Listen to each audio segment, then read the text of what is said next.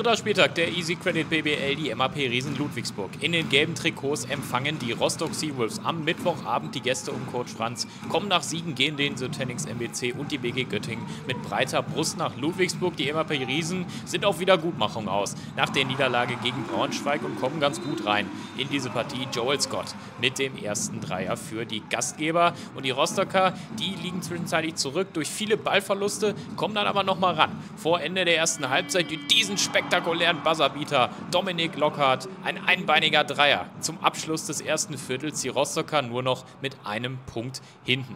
Auch in Viertel Nummer zwei die Trefferquoten bei beiden Teams niedrig, aber Hunter Maldonado auf Seiten der Ludwigsburger stemmt sich dagegen hier mit diesem erfolgreichen Dreier. Alle seine neun Punkte macht er in der ersten Halbzeit. Die Seawolves zwischenzeitlich etwas ins Hintertreffen geraten, kommen aber wieder zurück. Schönes Anspiel von der Maze auf Gonwen Omenaka. Die Seawolves zur Halbzeit nur mit zwei Punkten hinten.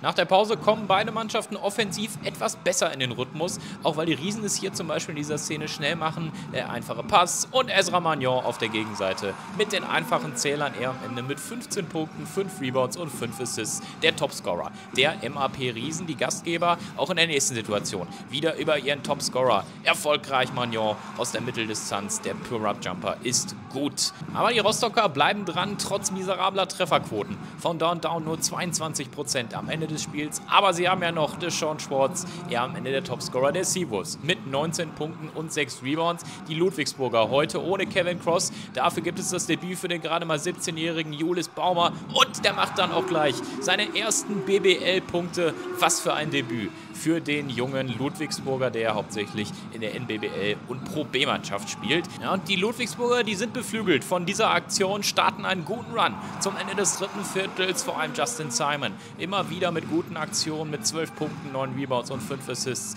Er am Ende auch wieder mit einer starken Partie. Hier der Spin-Move und der Layup. Wieder kommt Simon zum Korb durch und macht das natürlich dann am Ende auch stark. Die Riesen zwischenzeitlich mit 12 Punkten in vorne. In der Schlussphase die Rostocker aber wieder dran. Jacob Patrick mit einem ganz wichtigen Dreier. Die Riesen wieder mit einem kleinen Polster. John Patrick 11 Punkte und 3 Rebounds am Ende. Auch hier der Jumper aus der Midrange ist gut. 5 Punkte in Folge für den Sohn des Head Coaches. Die Rostocker versuchen sich aber noch dran zu kämpfen, hadern aber weiterhin mit den miserablen Wurfquoten von außen. Deshaun Schwartz zwar hier nochmal mit einem erfolgreichen Dreier, aber das reicht am Ende nicht. Die letzten drei Minuten gibt es von beiden Mannschaften nicht einen einzigen Feldkorb.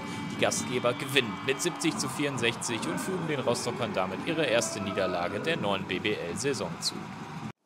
Mehr Social Content rund um Basketball hier bei uns bei Dein Basketball.